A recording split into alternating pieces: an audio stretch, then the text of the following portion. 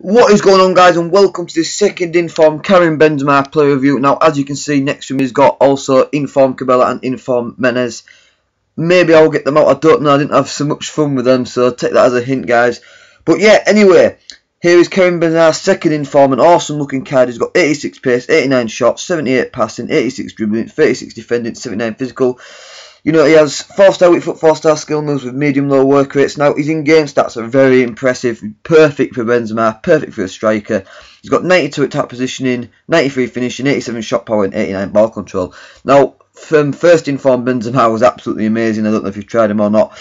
And, you know, he deserves his inform again. Two goals, I think it was a few days ago for Real Madrid.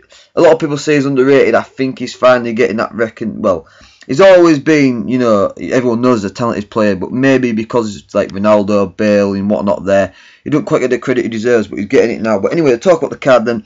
And Benzema, you know, what you see is what you get really. He's an absolute quality finisher. Inside the box, left foot, right foot, his four star weak foot's fantastic, but he's finishing. Finesse shots inside the box are power shots. He will score you a lot of goals. He's a great finisher, really fun to use.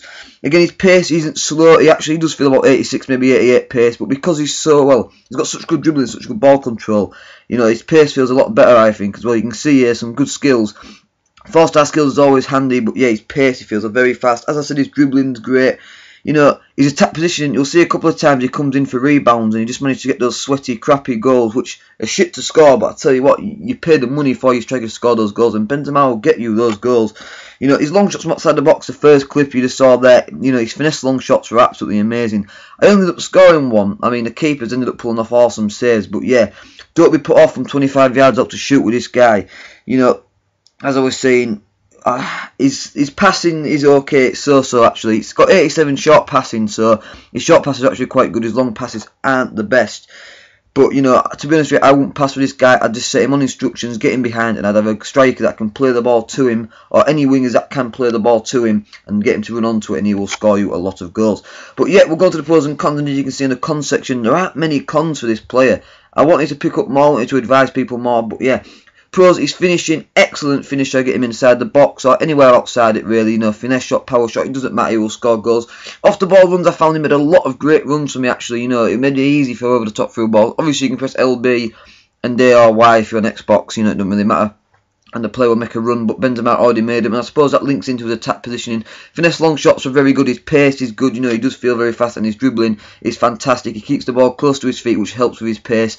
However, Cons heading, yeah, he missed quite a couple of easy headers for me.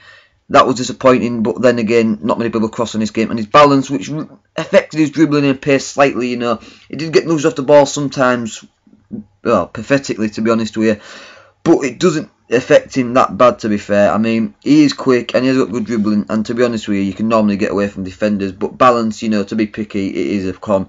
Other than that, guys, this card is just what you see is what you get really. You know you pay I think it's one and a half million is that now and you know that is basically what you're going to get from him. He's definitely better than his first in form but I'd wait till his price went down if I was going to get him. But yeah guys um if you've enjoyed this review please like comment and subscribe. To be honest with you I'll probably end up bringing out um second in form Kevin De Bruyne over Menez and Cabella. I haven't really enjoyed playing with them. But other than that guys thank you for watching. Have a very very nice day